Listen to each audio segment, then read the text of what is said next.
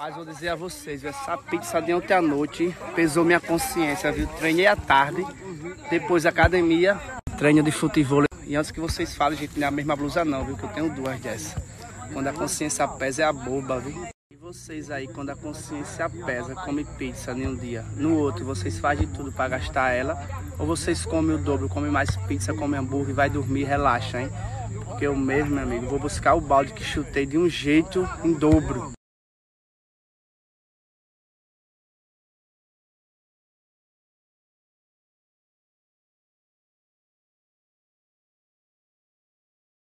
A grande família vai pra onde, hein? Posso saber que eu tô chegando agora e ninguém me disse nada, herói? Loucura, loucura, meu amigo. Loucura, loucura. Ô tia, tem mais uma vaguinha nesse carro, minha gente, aí pra mim, Cristiano. E vai pra onde, hein? Posso saber?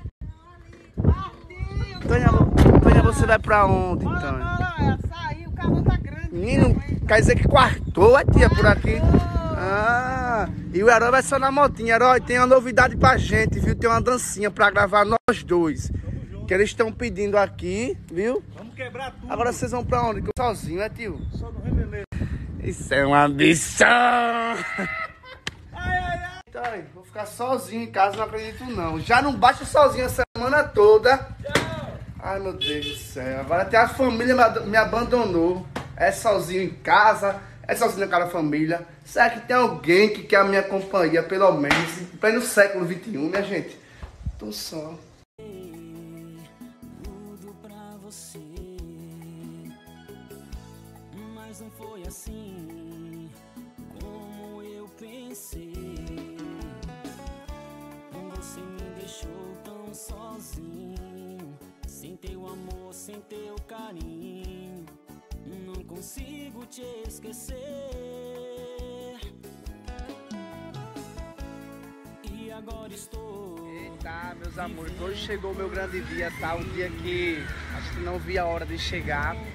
Hoje é o meu dia de tomar a segunda dose né, da vacina contra o Covid. E você, já tomou a segunda dose da vacina também? Gente, vou dizer a vocês, viu? Já fiz tatuagem, eu faço aplicação do soro na veia e não tenho medo da agulha. Agora não sei o que é que eu tenho, gente, que por vacina, quando vai aplicar, eu acho que eu tenho trauma de escola, sabe? Quando aquele povo ia vacinar na escola criança.